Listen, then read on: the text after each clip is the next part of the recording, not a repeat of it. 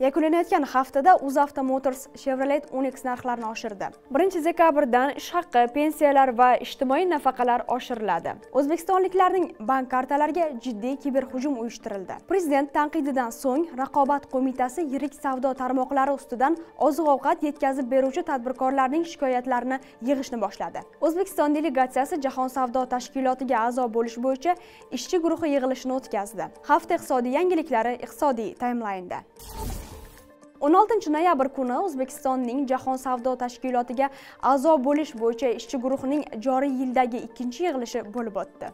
Ishchi guruh yig'ilishidan bir kun oldin o'zbekiston turkiya mo'g'uliston va saudiya arabistoni bilan jstga qo'shilish bo'yicha muzokaralarni yakunlab tegishli bayonnomalarni imzoladi. Bu bilan a'zolik jarayonida yakuniy kelishuvga erishilgan davlatlar soni beshtaga yetdi. Yaqin vaqt ichida yaponiya shri lanka va moldova bilan ham muzokaralarni rasman yakunlash reja qilingan. O'zbekiston rasmiylari 2023 yil boshida bergan bayonotlarida jahon savdo tashkilotiga a'zo bo'lish bo'yicha asosiy muzokaralar shu yil oxirigacha yakunlanishini aytgandi. O'zbekiston prezidentining jahon savdo tashkiloti bo'yicha maxsus vakili aziz o'runov bu maqsadga erishish kechikayotganiga izoh berdi. To'g'ri e, ikki ming yigirma uchinchi yil yakunigacha demak asosiy muzokaralarni yakunlash maqsadini qo'ygan edik lekin muzokaralar juda yam murakkab jarayon. Birinchidan ikkinchidan Э, bir xil muzokaralarda э, demak э, ancha oldinga ildamlagan bo'lsak ham bir xil davlatlar bor. Demak boshqa ko'p tomonlama muzokaralarda mana qishloq xo'jaligi bo'yicha alohida muzokaralar bor.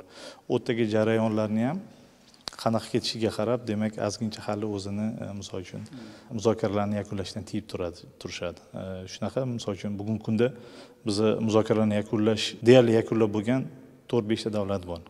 Lekin ular e, demak o'sha muzokaralarni yakunladik deb e'lon qilishga shoshishmayapti bu ham bir e, demak e, vtoga a'zo davlatlarni o'ziga yarasha demak ushbu jarayondagi strategiyasi hisoblanadi. U o'zbekiston 2003-2005 yillarda dastlabki faol muzokaralarni olib borgani va bu muzokaralar 2020 yilda tiklanganini ta'kidlarkan nofaol muddatni hisobga olmasa mamlakat jstga umumiy hisobda 10 yilga yetmasdan a'zo bo'lishini qo'shimcha qildi. 2023 yil 17 noyabrdagi prezident farmoniga ko'ra joriy yil 1 dekabrdan ish haqi pensiyalar va ijtimoiy nafaqalar 7% ga oshirilmoqda. Ya'ni pensiyani hisoblashning bazaviy miqdori 372 ming so'm yoshga doir eng kam pensiya miqdori 725 ming so'm mehnatga haq to'lashning eng kam miqdori 1 million 50 ming so'm etib belgilanmoqda. Buning natijasida 4,5 million kishining pensiyasi va nafaqalari miqdori ko'payadi va barcha byudjet tashkilotlari xodimlarining oylik maoshi maoshlari dekabrdan boshlab 7 foizga oshgan holda hisoblanadi. Shuningdek bazaviy hisoblash miqdori 1 dekabrdan 3 foiz miqdorda o'zgarib 340 ming so'm etib belgilanmoqda. Hozirda BHM 330 ming so'mni tashkil qiladi. O'tirgan joyimizda xohishimizdagi ko'chmas mulkni topish uchun qulay platforma bu yangi uylar sayti. Qurilishi boshlangan qurilayotgan va qurib bitkazilgan uylarning ko'rinishi narxlari va joylashuviga qarab cho'ntagingizga mosini tanlayverasiz. Ishonchli uylarni yangi uylardan toping.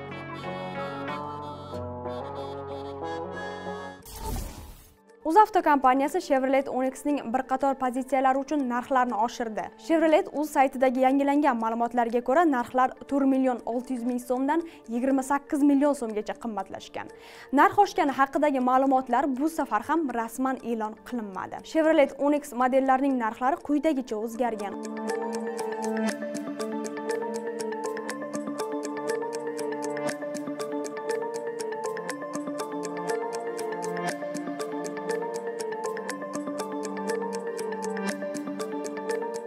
E'tiborga molik jihati ushbu pozitsiyadagi Onix avtomobillarining birortasi sotuvda mavjud emas. Avvalroq Onix 3 LT MT modelining narxi 159 million so'mdan 184,7 million so'mga oshirilib, keyin sotuvga chiqarilgandi.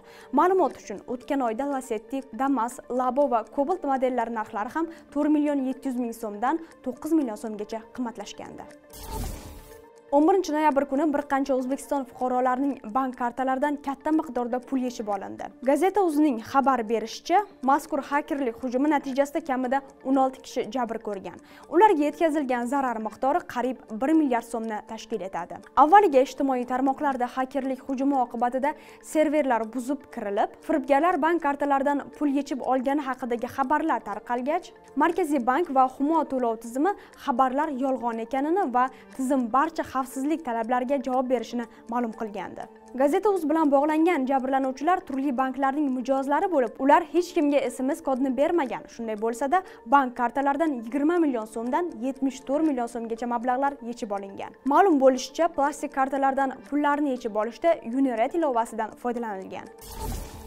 Yakunlanayotgan haftada sodir bo'lgan boshqa yangiliklarga qisqacha to'xtalamiz. Toshkent viloyatida mening birinchi uyim dasturi amalga oshiriladi. Zangiota tumanida quriladigan imtiyozli uy joylar oxirgi 5 yilda mulk huquqi asosida uy joyga ega bo'lmagan oilalarga 15% miqdorda boshlang'ich to'lov asosida 20 yil muddatga bo'lib to'lash sharti bilan beriladi. Aksil korrupsiya agentligi davlat organlari o'z xarajatlarini e'lon qilishda jiddiy kamchiliklarga yo'l qo'yayotganini ma'lum qildi. Ko'mir ta'minotining toshkent viloyat filiali bosh boshlig'i 50 ming dollar bilan ushlandi. U korxonaning hozirgi kunda vakant hisoblangan sirdaryo viloyat filialiga rahbar sifatida ishga qabul qilinishda ko'maklashish evaziga boshqa bir fuqarodan pul talab qilgan. Ayni vaqtda namangan va farg'onada aholiga ajratilgan ko'mirni talon taroj qilgan ombor mudirlari ham ushlandi.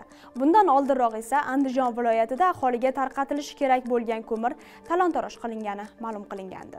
Ular andijon buloqboshi va jalaquduq tumanlarida kuz qish mavsumida aholiga imtiyozli narxda tarqatishga mo'ljallangan ko'mirni sotib yuborgan. O'zbekiston va afg'oniston temir yo'l shirkatlari rahbarlari hayraton naibobod mozori sharif temir yo'lining bir qismini ta'mirlash haqida kelishib oldi. O'zbekistonda o'zini o'zi band qiladigan shaxslar uchun faoliyat turlari ro'yxati kengaytirildi. Ro'yxatga 19 ta faoliyat turi qo'shildi.